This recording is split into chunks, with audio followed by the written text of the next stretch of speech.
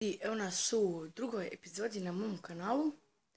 E, danas ću snimati vlog e, do stupnice s, sa mojom braćom. Evo vamo su spremni bicikli. Ili bicikli, kako se već kaže, ne pojma. Tu imam auto, ali ipak bajs.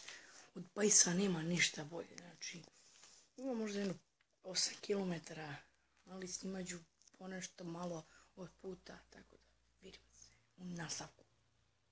Ljudi, malo zastaje.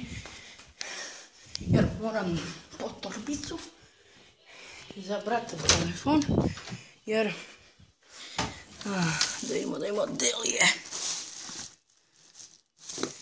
Au, čekaj, čekaj.